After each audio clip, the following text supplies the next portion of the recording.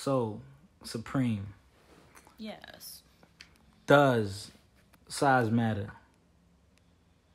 Yeah, size matter. I've got good sex from people that had smaller or average size penises, but I would like it a little big, a little larger, Oh, a little harder. Who wants to fuck a noodle dick? It's kind of rude and disrespectful. You feel like maybe you the reason why the dick is a noodle, Mm. but it's always like that. So I would say size matters. You don't want the biggest, dumbest dick in the world either, because you have a bitch running. Mm.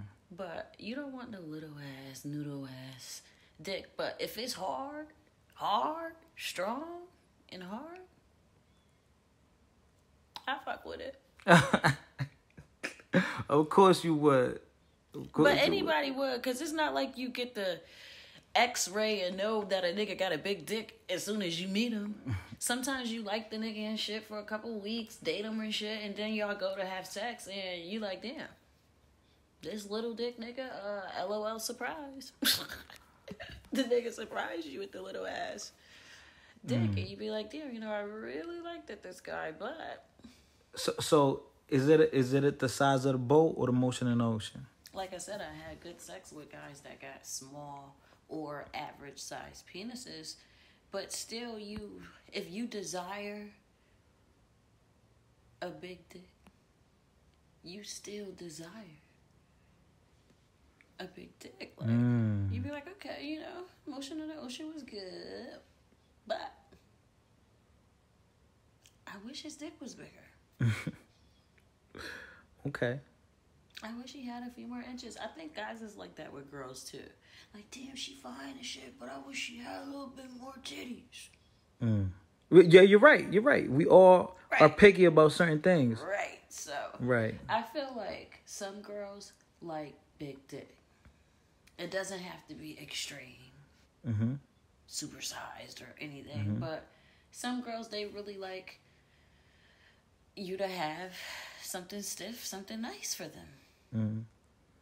Oh, I mean, cause gonna cut it. oh, cause the firm the firmness is is is is one thing, and, then the size is another too.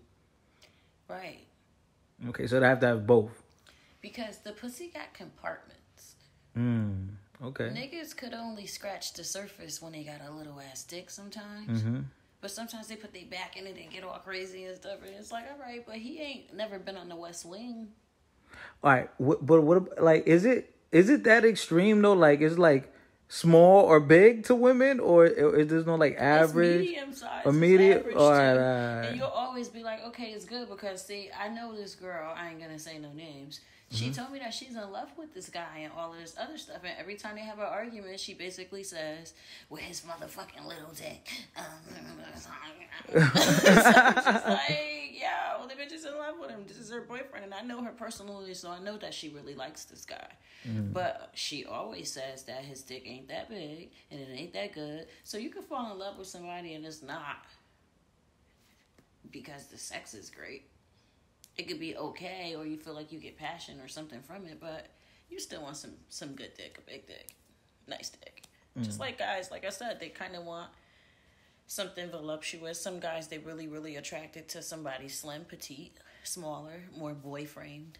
So um, we have our preferences, and to me, size matters. Mm. I, want, I, want, I want a big dick nigga, but I want him to have manners and shit too. Like I don't want him to just have community dick just because it's big and good. He'll pass it out to anybody who wants the dick, but uh.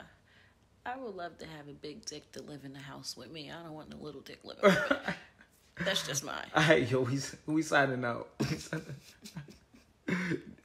And you call me nasty, you nasty. That's just how I feel. All right, all right.